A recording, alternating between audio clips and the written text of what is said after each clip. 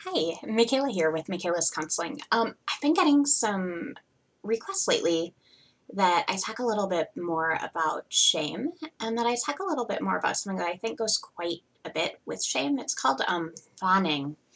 If you're familiar with uh, Pete Walker, he did a bit of an extension on your traumatic fight, flies, fight, flight, freeze responses to um, include fawn. And fawn is where we actually make ourselves smaller. Maybe we collapse, we become nice, we become beseeching to other people, we charm.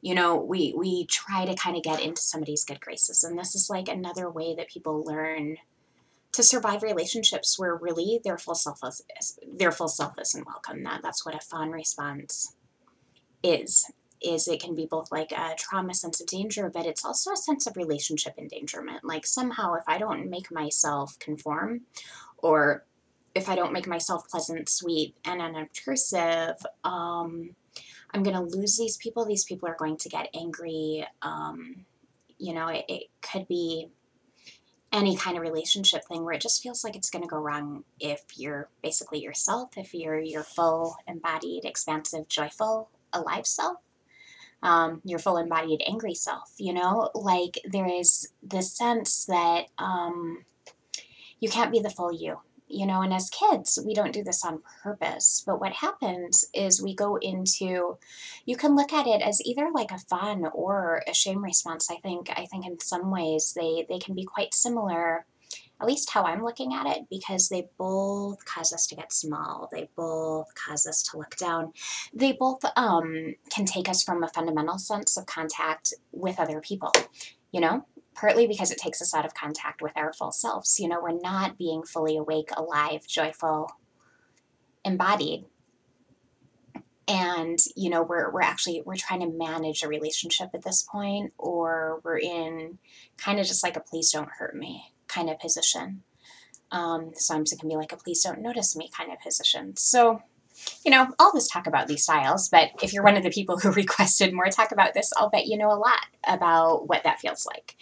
And so I want to talk about like another way of looking at this, and that is that um, I didn't know this for quite a long time, but usually before a shame response, usually before a fawn response, there is a flash of another emotion. That emotion is usually anger. Very, very often anger. And so this is a really, really cool key because actually your, your shame attacks, they don't happen randomly. They happen in response to some kind of interaction, and they very often happen in response to an interaction where you don't feel met, you don't feel validated.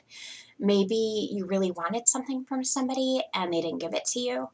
Maybe you reached out in some way, somebody didn't return your reach, or they misperceived you. And so, one key to, to working with the shame is actually to realize, like, oh, you know, I kind of make myself smaller or I kind of make myself wrong because somehow I learned that it's not okay to have anger. It's not okay to have my full self in this relationship. And so instead of having anger, I shrink.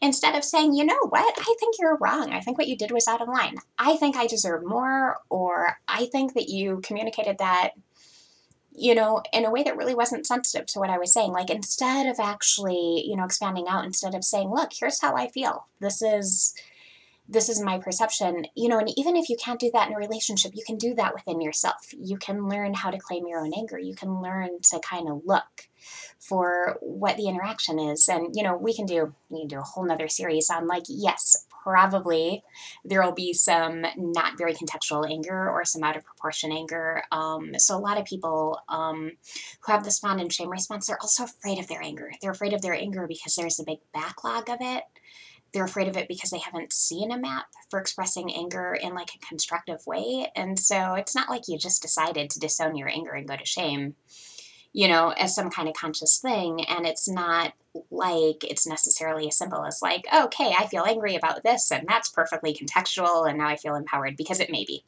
It may be that there's a backlog of anger, but what you could do is that is find that spark of life you know anger anger is it's it's an enlivening emotion a lot of the time.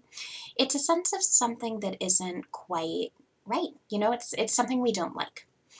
And so next time you're having a shame attack, next time you're making yourself small, see if you can map it back to an interaction and see if instead of making it like all about like, oh, I'm wrong, I shouldn't have asked, I shouldn't reached out, I shouldn't have said that thing, I, you know, instead of berating yourself, instead of making yourself wrong, see if you can just find the anger. Now, this doesn't mean you have to make the other person wrong either. You don't have to say, well, they're a terrible person because they did this thing or they failed me in this way, and I'm sure it's because they mean all these terrible things. Like, you know, you actually don't have to be against yourself. You don't have to be against people out here. You know, like there's a way to actually go, okay, I had a spark of anger. And contextual or not, this is what I felt. This is what I was hoping for. This is what I got. And one way that you can work with it is just even notice how you feel that anger, like in your body, like irritation or exasperation or, you know, some way that, that you felt kind of like a spark when somebody did something or failed to do something. And you don't even have to go with the story about that person. Like, just for the purpose of this video, you can just find where that spark lives. Find where the spark lives inside. Find where that moment is if I don't like that and see if you can at least just notice and acknowledge like, hey, I had an important feeling here. You might still go to shame. You might still go to fawn a little bit, but it might help you if you can remember there is a spark of life and very, very often for people who have like really, really strong, like paralyzing shame responses or really like um, debilitating, like fawn responses, what they learned was that their sparks of life, whether it was anger or joy, weren't welcome in their environment. So your body's doing what it learned how to do. Your mind's doing what it learned how to do. You've learned, you know what, it's a whole lot better for me if I attack myself. It's a whole lot better if I make myself wrong than tell these people that I think they're wrong or just even say that I'm disappointed and angry, right? And so your body's adapting to um, the liveliness in yourself. That's actually what's happening. Isn't that isn't that fascinating? It's actually a really empowering way of looking at this because um, yeah, I don't think I've seen a counterexample lately where I've seen somebody go into shame that actually wasn't on the heels of some kind of vitality, some kind of hope, some kind of awakeness and aliveness, and you can find that. Now, if this gets you into some other quagmires, it's, this gets you into some other struggles, maybe you start discovering, oh, I'm so afraid to find my vitality or actually I notice that my joy or, you know, my hope in relationships that leads me directly into the spiral and I'm not quite sure how to, you know, undo that. Find somebody to work with. Like find somebody to help you through this. Like find some guidance with somebody compassionate, you know, who's trauma attachment informed, hopefully, because because there's a way to unwind this pattern. But sometimes when it is shame, it's a whole lot easier to do that interactively. It's a whole lot easier to do that when there's kindness, there's eye contact on the other side, and there's somebody modeling for you. Kind of this this vitality, this aliveness, this ability to be with the different emotions that you're experiencing. And hopefully they'll have the ability to be with their emotions, with your emotions, and really really be there for you in a way that's that's facilitative that shows you a new way of having intimacy in relationships like a new way where you don't have to shrink you don't have to pull back you don't have to attack yourself or make yourself wrong. You don't have to make other people wrong either.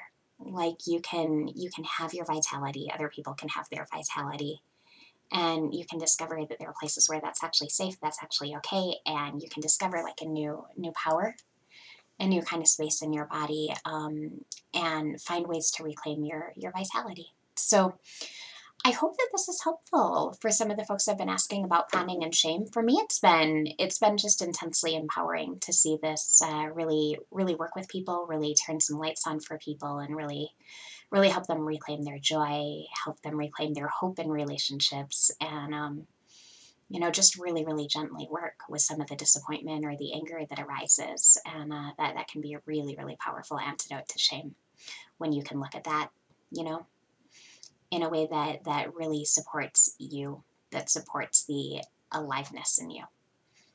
I hope this helps. I look forward to talking with you soon. Bye for now.